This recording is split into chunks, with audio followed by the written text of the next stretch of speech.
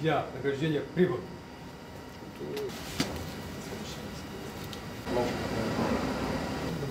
Да. Служу России.